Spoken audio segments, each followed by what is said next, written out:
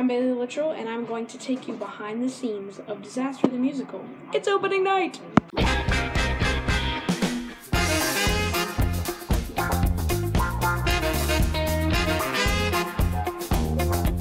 Getting ready to put my clothes on. Oh, yeah.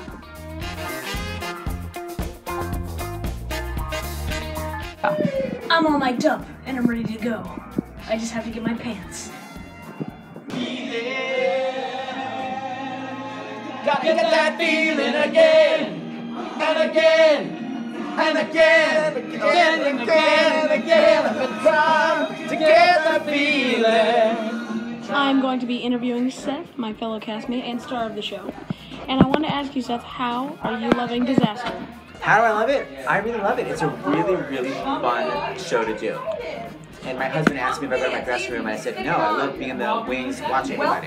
Especially when I forced you to go on stage when you weren't supposed to go on stage. I actually sabotaged Baylee. That fun? I'm professional. Bye. Getting ready to walk to the stage, the opening of my whole career.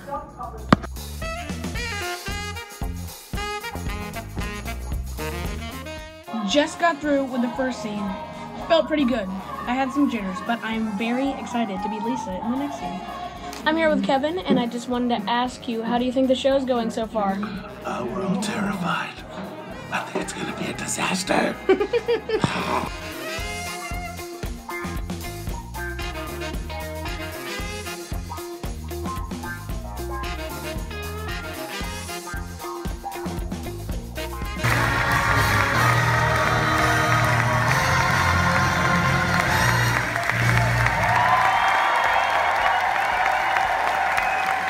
are officially done with our first disaster show. I am so worn out.